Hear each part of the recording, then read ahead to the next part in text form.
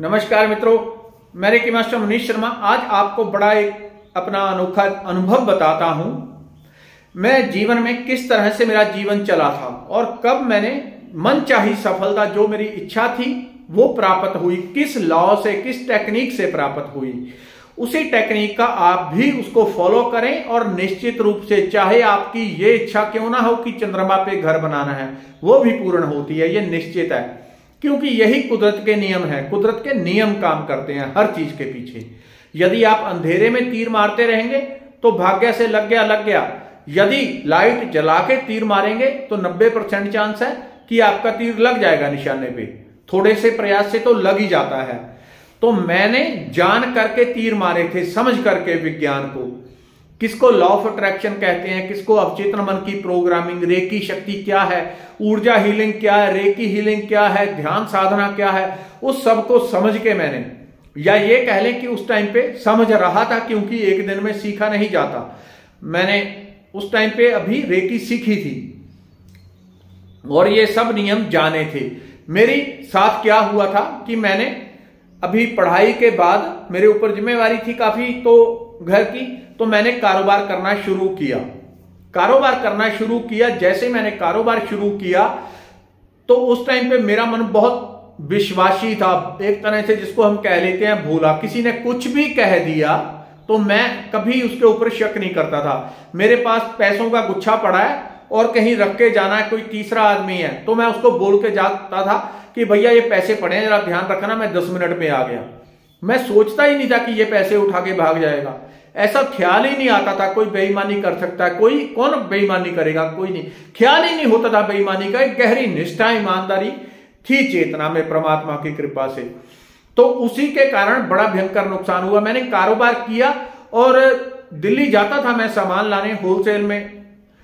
करता था काम तो दिल्ली वालों ने क्या किया? मुझे जब सामान लेके आता था, दिखा देते थे और जब सामान आता था, उसमें इट्टे, ईट, रोड़े, बजरी, मिट्टी भर के भेज देते थे। ऐसे ऐसे काम हुए। तो मैं लाखों के कर्जे के नीचे आ गया और मेरे साथ कई बार ऐसा हुआ। सामान दिखाया, उन्होंने कुछ डाल दिया, मिट्टी उठा के।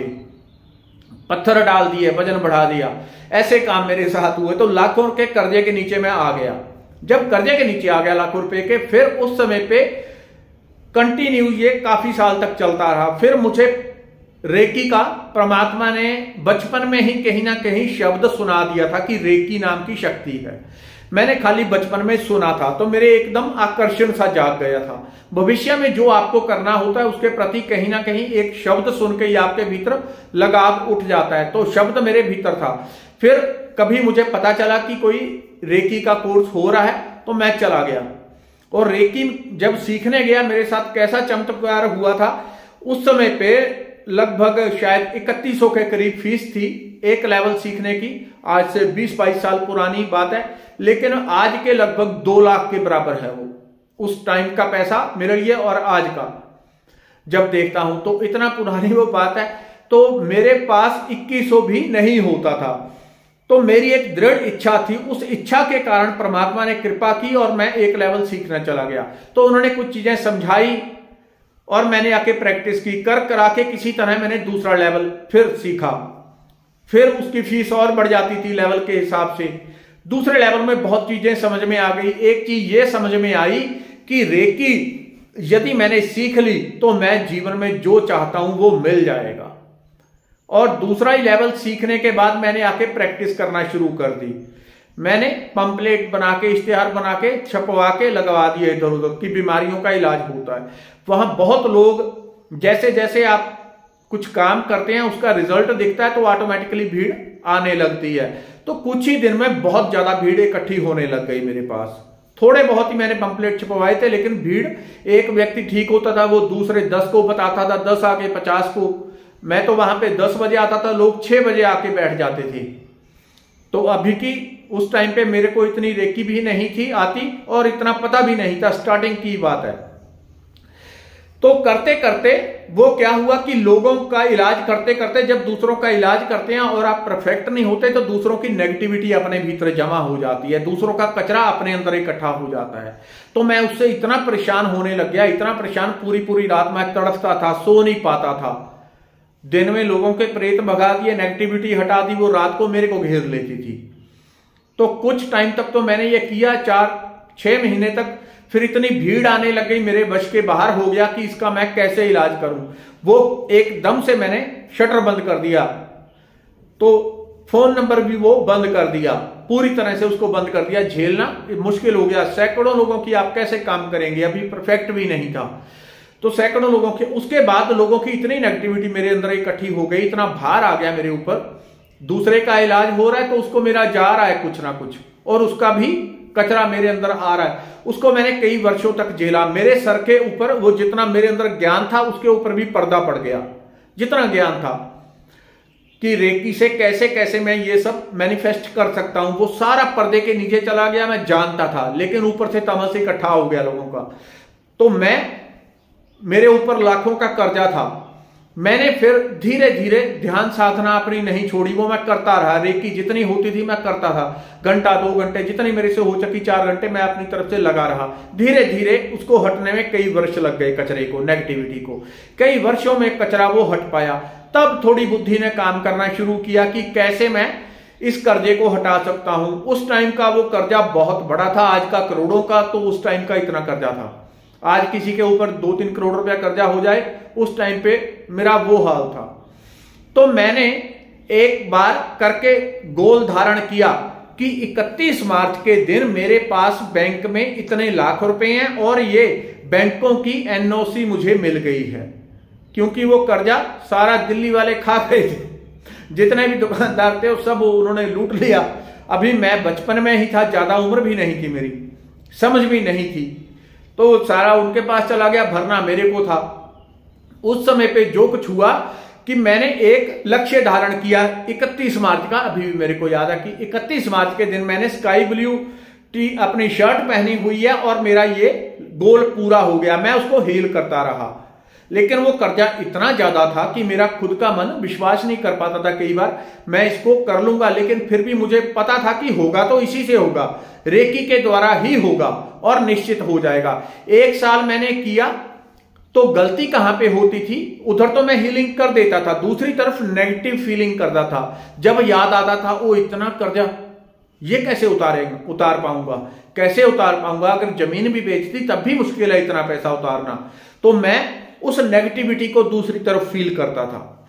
उधर हीलिंग अपना काम करके मुझे आगे बढ़ाती थी। मैं नेगेटिव फील करता था कि पैसा मेरे पास आज आज है नहीं और इतना देना है। उस नेगेटिविटी को फील करने के कारण उसकी लेंथ भी उतनी हो जाती थी।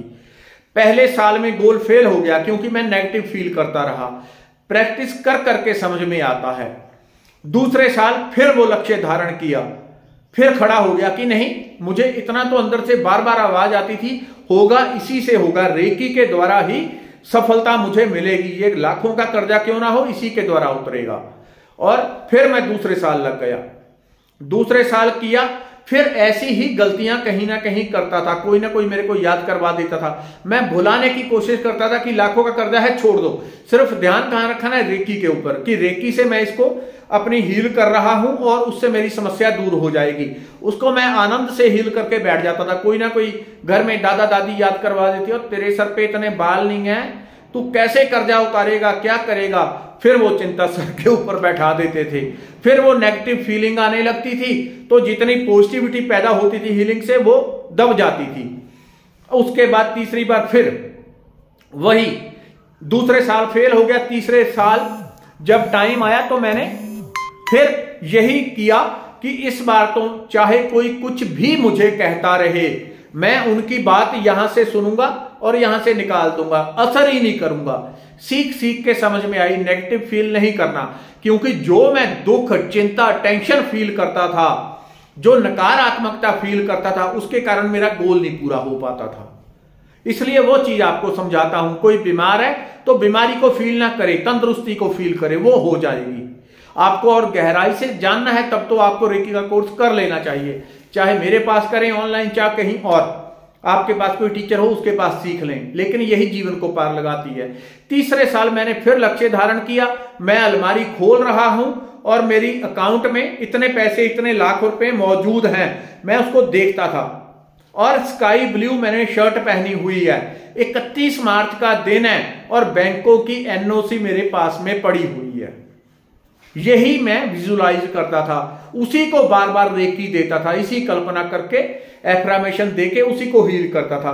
तीसरे साल अचानक से कुछ असर हुआ, क्योंकि तीसरे साल जब भी कोई याद करवाता था, मैं दूसरी तरफ़ चला जाता था, सुनता ही नहीं था। और ज़ोर ज़ोर से मन में राम राम राम राम राम ज़ोर ज़ोर से इस तरह से मन को उनकी बातों से हटा देता था। तो मैंने तीसरे साल नेगेटिविटी को जो फील करता था, उसको मिनिमाइज कर दिया बहुत। हीलिंग मेरी बढ़ गई। वो उस टाइम का जो कर्जा आज के करोड़ों के कर्जे के बराबर था, उस टाइम पे कोई सोर्स नहीं थे इतने। तो आज के टाइम में किसी के ऊपर दो करोड़, उस टाइम पे जो मेरा कर्जा था वो ऐसा था। तो तीसरे वर्ष जब एक दिन शायद दोपहर के बाद का टाइम था, मैं अलमारी खोल रहा हूँ। अलमारी खोल के मेरे हाथ में बैंक की पासबुक आई। वो भूल ही गया मैं, क्योंकि काम में रचा रचा वो भूल गया कि मेरा मैनिफेस्ट हो गया है। उसके लिए और गहराई से धन्यवाद करूँ तो और बढ़े। वो चीज़ें भूल गया। बैंक की पासबुक हाथ में आई, दो तीन पेपर और उठाए। तो एक बैंक की एनओसी, एक की, दूसरे की, तीसरे की। अभी एक और का लोन था, उसकी एनओसी नहीं ली थी। ना ही क्लियर किया था, वो छोटी रकम थी। वो तीनों उधर बैंक की कॉपी और एकदम से दिमाग में चरखी घूमी।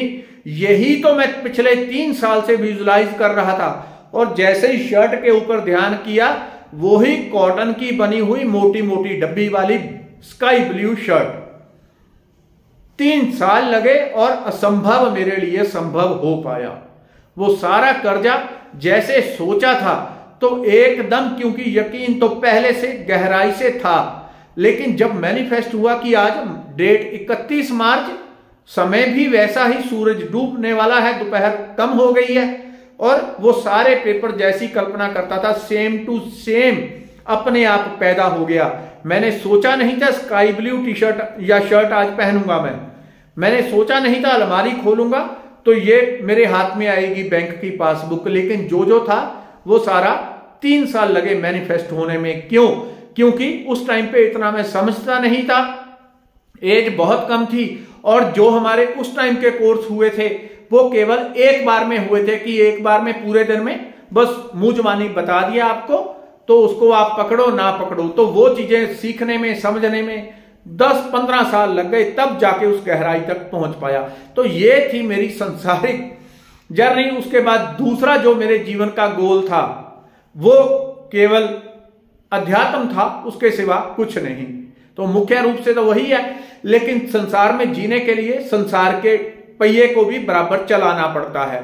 यदि एक ही तरफ़ से आपका अध्यात्म ही आगे दौड़ेगा, संसार पीछे छूट जाएगा, फिर साधना करनी मुश्किल हो जाती है। लेकिन यदि कोई गहराई से साधना में और साधना के नियम समझ के गहराई में उतरना शुरू कर दे तो संसार उसकी चुटकी में बैठा रहता है। यहाँ चुटकी मारता है और यहाँ पे जो चाहेगा वो प्रकट होता है। साधना ऐसी चीज़ है। तो भगवान की पाठ पूजा करें, मंत्र जाप करें, रेकी करें, ध्यान करें, कुछ भी करें लेकिन भगवान से मांगना क्या है?